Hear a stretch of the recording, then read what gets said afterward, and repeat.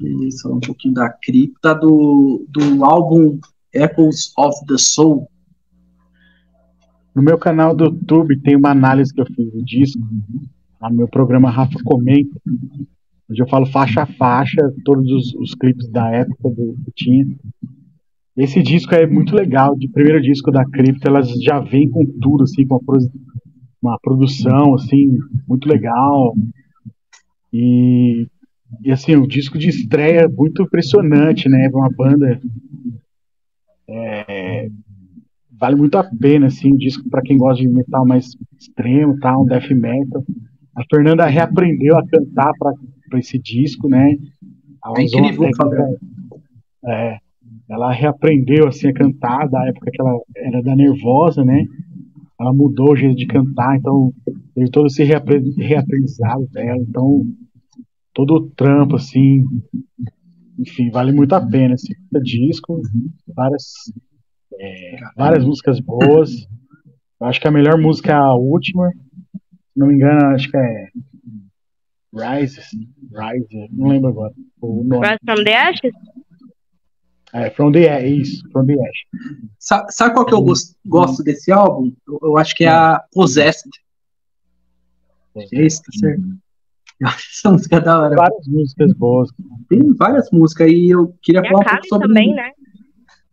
Cara, queria falar um pouco sobre o trabalho que a... Uhum. eu, eu queria falar um pouco do trabalho que a Luana fez nesse álbum, né, mano? Que é cabuloso, né? É sensacional, assim, eu com eu sou batera também, e as coisas, as levadas que ela traz, assim, o, tanto o, os blast beats como a, as viradas, o, tem uns contratempos cabuloso, e daí tem uns andamentos cadenciados e os outros mais rápido, tudo, mano, encaixa perfeitamente, tanto com as partes mais pesadas quanto as partes mais melódicas, né? Porque tem, tem uma melodia, tem, tem muita melodia, né? No, no som da cripta, aquela melodia meio do death metal sueco, né? Digamos assim. E, cara, não tem que falar, esse, esse álbum para mim é, é, é, maravilhoso, é incrível também. O que eles. O que tanto a Luana. O que elas todas fizeram nesse disco é sensacional. Acho que é isso. É. É, a Tainá, eu acho que a Tainá que fez as, tem muitas bases de guitarra que é que é muito lembra assim tem esse esse quesinho que você falou do, do death metal sueco mas tem também um pouco de Morbid Angel assim cara pode crer tem essa, verdade tem essa mistura cara uhum. e é muito bom assim bom demais verdade tá, mano esse esse disco tá incrível velho verdade mesmo concordo não, sem contar o profissionalismo das meninas, né? Não, não tem para onde. Quando elas, elas vieram aqui para Rio Branco dia 24 de junho do ano passado, lá no estúdio, foram recebidas de limusine, né? Pela, pela produção, pelo Bala. Queria mandar um abraço enorme pro, pro Bala, Padula, que toca com a gente e tal, um excelente baterista, excelente baixista. Ele e o Igor da, da PI, eles, né, estavam produzindo, trouxeram as meninas de limusine e tal.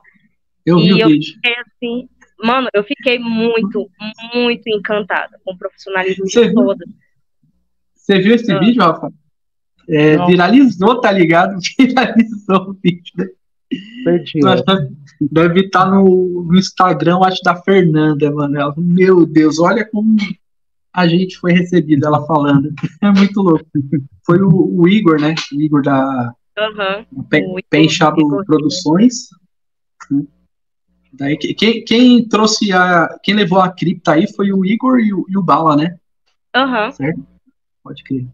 É, o, o meu, meu noivo Matheus, inclusive, foi, foi road das meninas também. Eu enchendo o saco, tipo assim, não, deixa eu ver, deixa eu ver. Tal. Mas assim, foi muito corrido que elas tocavam. Elas vieram, tocaram, na mesma noite já pegaram um voo pra ir pra outra cidade, que eu não, eu não lembro direito se foi, foi pro Mato Grosso ou foi pro, pro Maranhão, mas assim, era foi na, naquela fase da turnê. E, nossa senhora, o pessoal foi assim, foi, foi mágico. No meio, no meio do set, teve coro de fora Bolsonaro, tudo assim, foi, foi um momento mágico e, nossa senhora, não, não tem. É, é, é, sem, é sem palavras, é, é uma experiência. Eu, eu fui lá mais como, como grupo, mas a gente não deixa de reparar, tipo assim, como que é a performance delas, né? Questão de estamina, de, de interação entre elas. A Luaninha botou no chinelo todos os atendentes daqui do Acre. Somente. Com certeza. Ela chega, ela chega com as baquetas, pá, pá, pá, pá, eu falei, gente, é, é, é uma humana ou é um povo? Como que é isso? Muito Verdade. boa. A Jéssica também, maravilhosa nos solos, a simpatia. A Tainá naquela base dela e a, a Fernanda. Cara, a Fernanda, eu vi um vídeo, ela, ela, ela, ela humilha, ela humilha, pessoal, ela humilha. Ela é um doce, ela, ela humilha, ela cantando Night, ela cantando Amy Winehouse. Mulher consegue fazer um, aquele registro de apito. Ela, ela relatou uma vez, né, ela tava treinando pro cultural, tava fazendo registro de apito, eu falei, mulher, como pode? Uma deusa. Tem um vídeo dela que saiu cantando Nightwish, né? Caramba, mano. É incrível ela cantando Nightwish.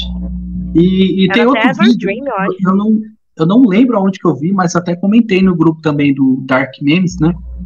Uhum. Que ela cantando Queen's Reich, né?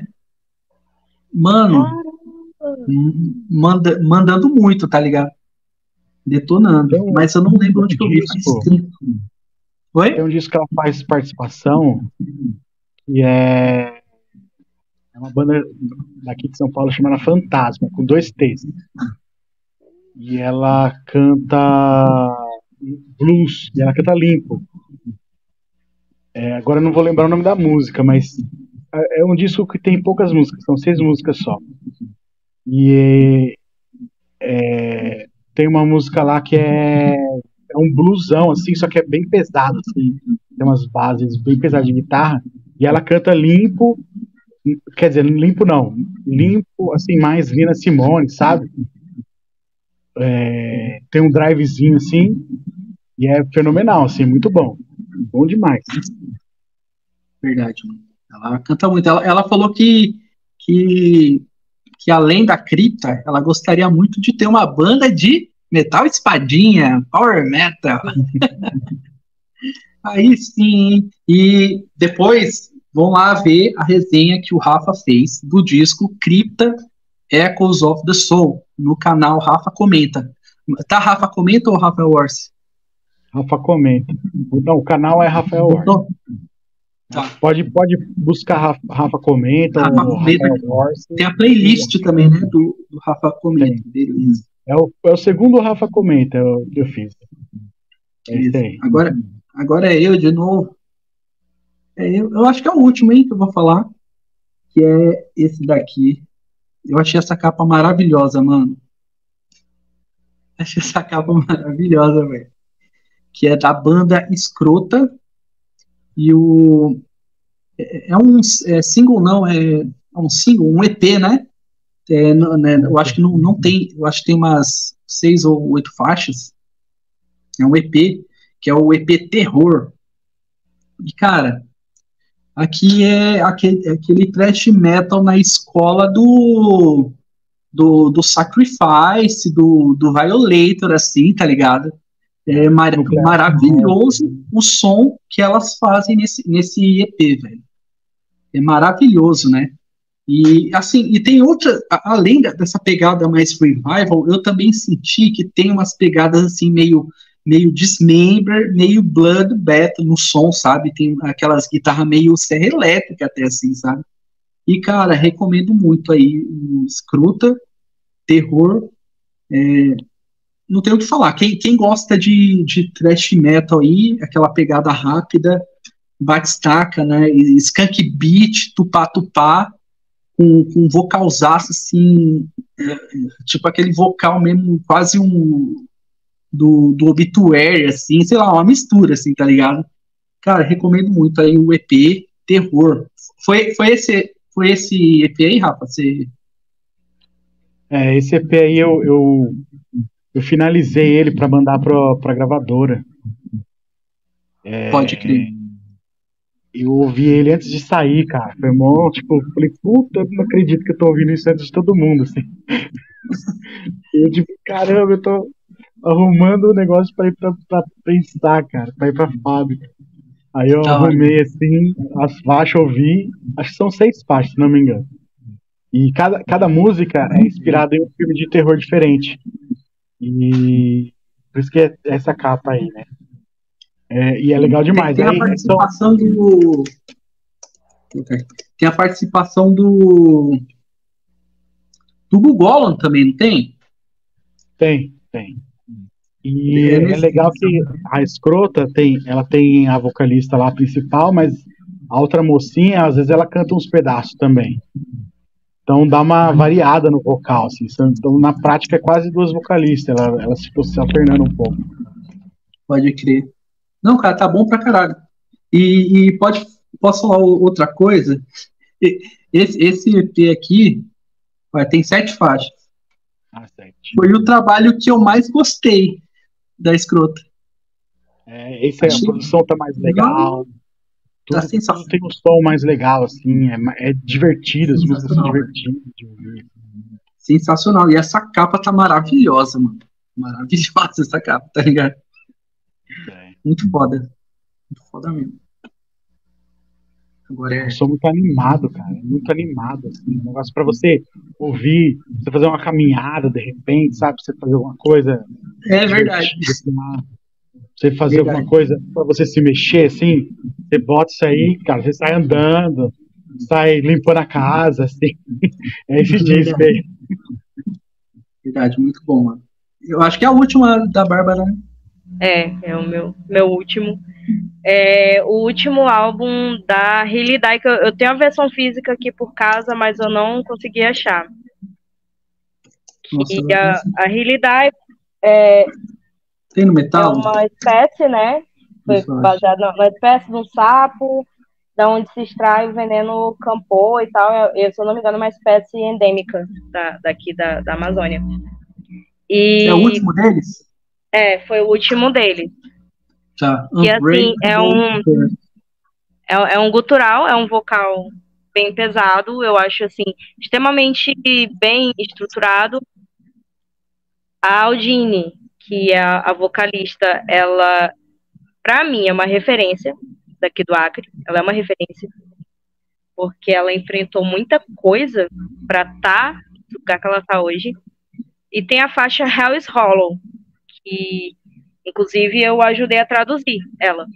A letra, ajudei a traduzir a letra, no tempo que eu nem sonhava que eu ia entrar mesmo de cabeça para ser vocalista e tal, eu ajudei os meninos a, a traduzir. E fala muito assim, cara, o, o inferno, ele tá vazio, porque os demônios mesmo habitam aqui. Que a gente tá vivendo uma sociedade tão, tão podre. Isso, assim, acho que, se eu não me engano, esse álbum foi lançado em 2018, 2019. E assim, a gente tá no. no a gente ainda tá, né? Tamo. É, tamo rising from the ashes de toda essa, essa enchente, assim, de, de coisa ruim que vem acontecendo. E, cara, do, do jeito que tava aqui, acho que realmente tava, tava vazio. O inferno tava vazio, tava, tava tudo quanto é demônio, coisa ruim andando aqui na Terra.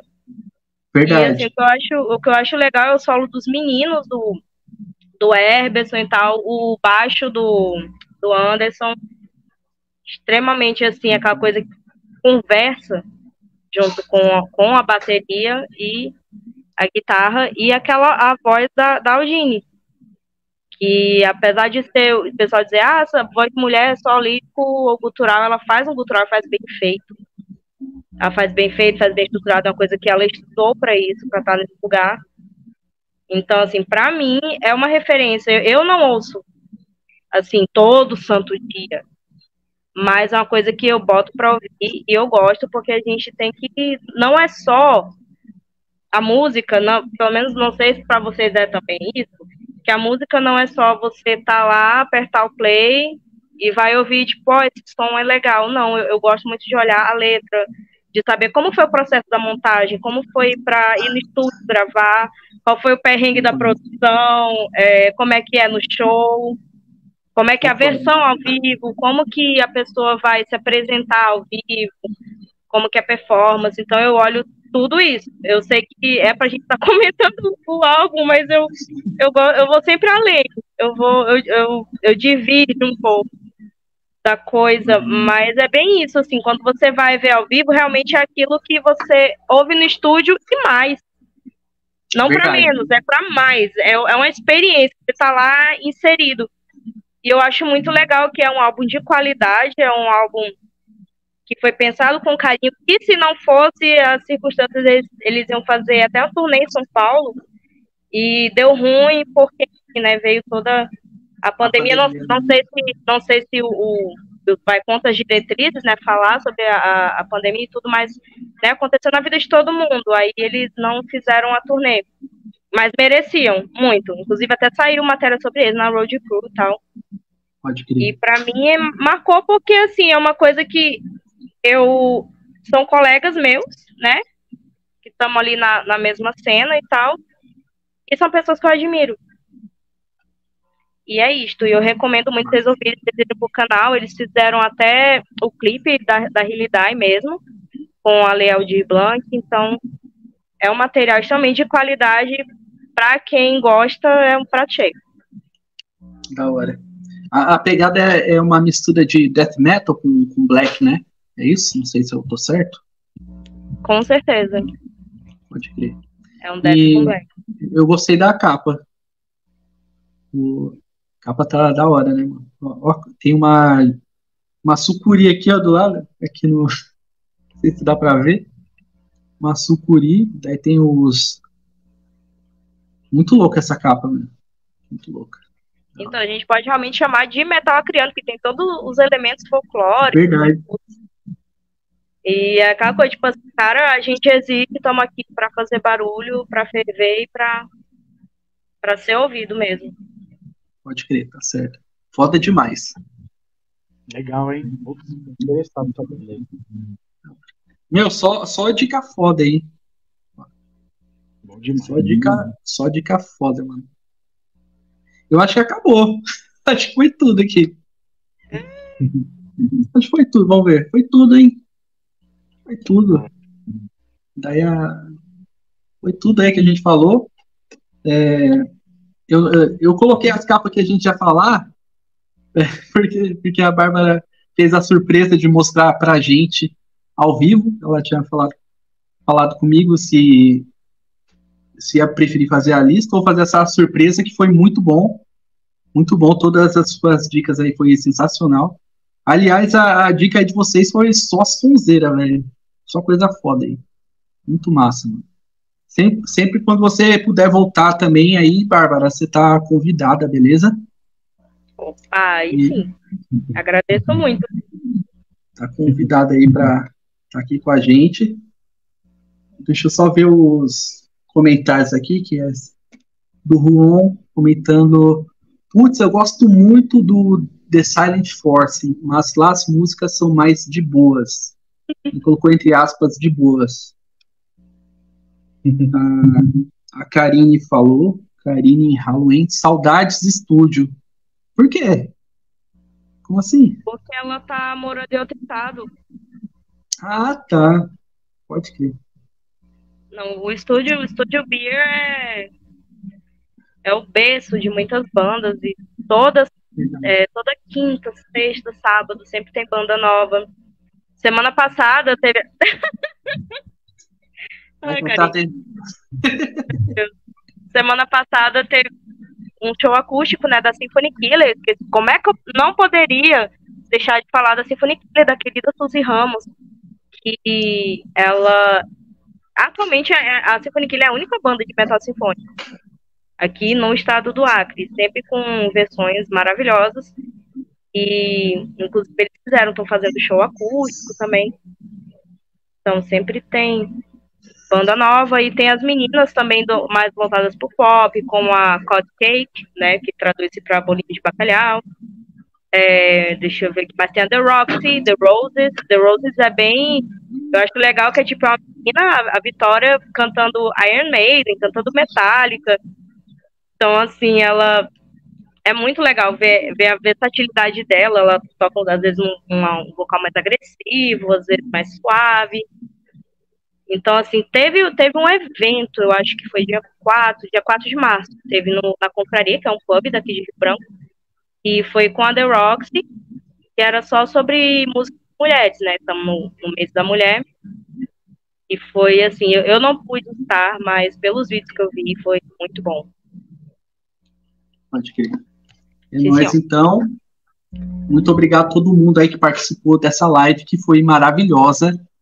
A gente adora falar de música, falar de underground, falar de metal, falar de punk, metal punk, metal espadinha, etc. A gente adora tudo isso. E é isso, mano. Muito bom mesmo estar com vocês, com a Bárbara, com o Rafa. Isso aí foi maravilhoso, só isso que eu tenho a dizer para vocês. E eu gostaria aí, quem puder, se inscreve no canal. É, se puder é, ajudar no Pix, tem um Pix do canal que a gente deixa no comentário fixados também, para ajudar.